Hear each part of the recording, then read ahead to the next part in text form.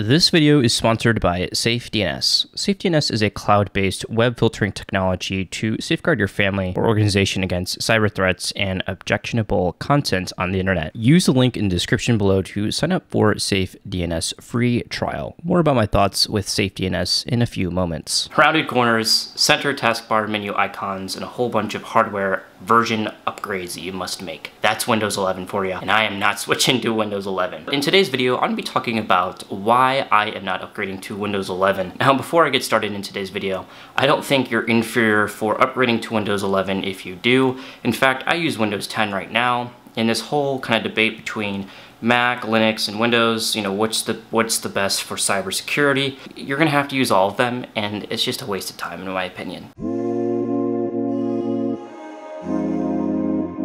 Alright, so answering the question head on, it's because it's not meeting my particular needs when it comes to the next phase that I'm about to enter in.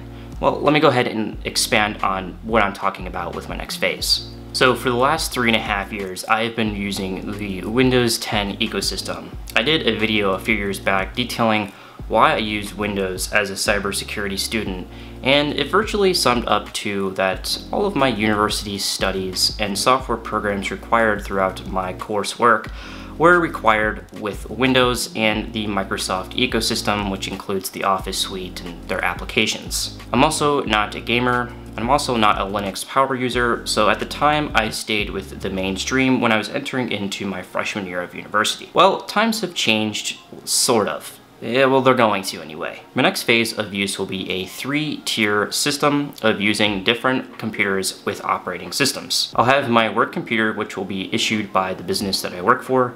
I'll have my personal daily use computer that I'm getting ready to build within the next six months, and then I'll have my second use daily computer, which will have Windows 10 on it for the time being. So this setup, it's a little bit more complicated than it could be. I could just use virtual machines or I guess rent things on the cloud, but I want to separate my work environment from my personal environment, first off.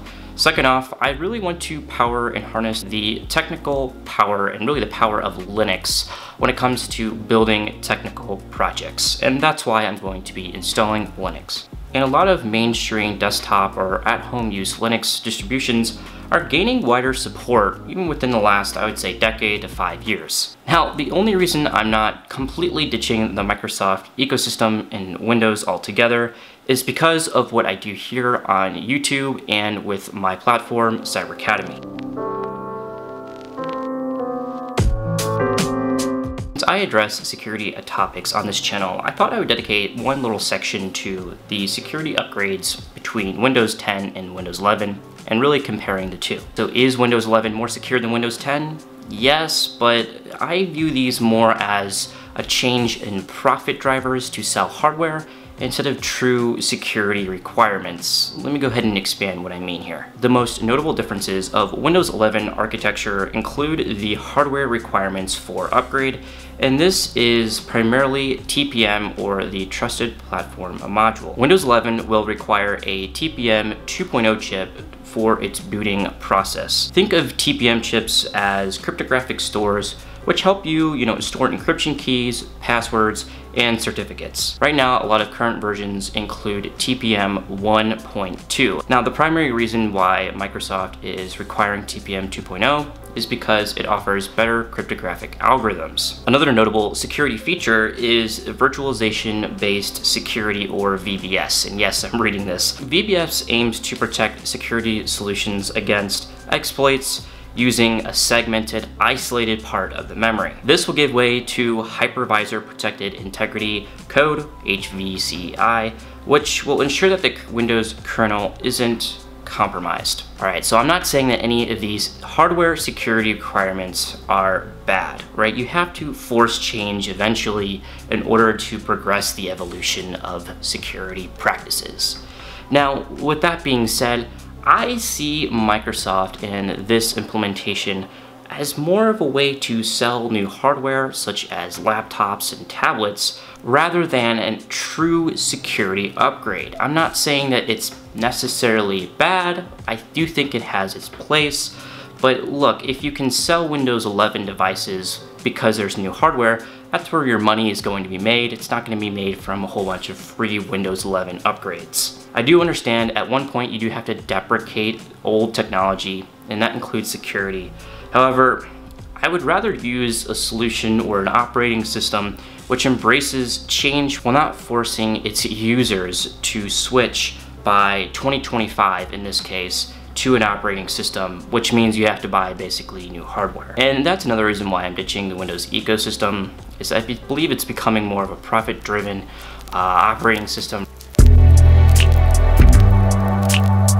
Yep use Linux. Overall, should you shy away from Windows 11? No, I still think it has its use within the industry, of course. For any given user uploading photos or Web browsing, sure, Windows 11 is a good operating system for them. So you have a couple of options. You can stay within the Windows 10 ecosystem. You could go into maybe a Mac OS X and buy, in my opinion, very overpriced hardware, or you can look into a Linux distribution. Now I know Linux, all right? I know I'm being one of those people with the bandwagon, but really, I think for me personally, I want to hop onto a stable desktop user-friendly uh, Linux distribution which offers usability while harnessing the power of Linux. There are many different Linux distributions out there, in particular for my hardware PC build that I'll be doing, let's say hopefully this winter. Uh, I will probably be downloading Ubuntu for the time being. It's the one I'm most familiar with. But there are many different other Linux distributions out there, and there's not just Ubuntu. If you are somebody who's maybe looking into using Linux on a daily basis, besides just using a VM, you can actually use a VM and try just playing around and seeing what that's like for perhaps a week. Go download the ISO, try it on a VM, and see what you decide is the best in your particular situation.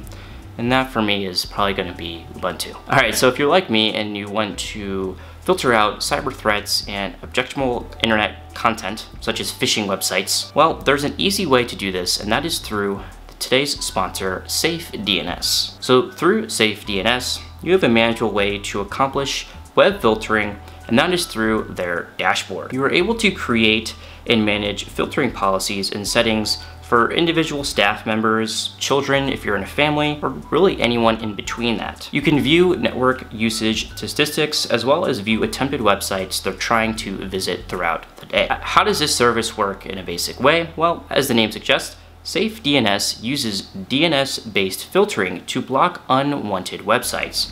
So even before the users reach them, they'll already be blocked, which will preserve your bandwidth before loading that content. SafeDNS also uses a lightweight agent-based software. The SafeDNS UI is used for blocking content, enabling safe search settings, and monitoring network usage. You know, SafeDNS is really a great service to add in to your cybersecurity strategy, whether you're at home or you're in an enterprise network. Like I said before, one of the big things you can prevent is from users going on to phishing websites, entering in their credentials, or doing something that your children or enterprise doesn't want you to do. There is a free trial when you sign up, so it's completely free for you to see what it's like to work with a provider like SafeDNS. So thank you very much for SafeDNS for sponsoring today's video. So that will end it for today's video, the Windows 10 versus Windows 11 debate and why I'm not even upgrading to Windows 11 sort of, I guess. So for the time being, that is my thoughts on Windows 11, subject to change, of course. Hope everything is going well. Until the next video,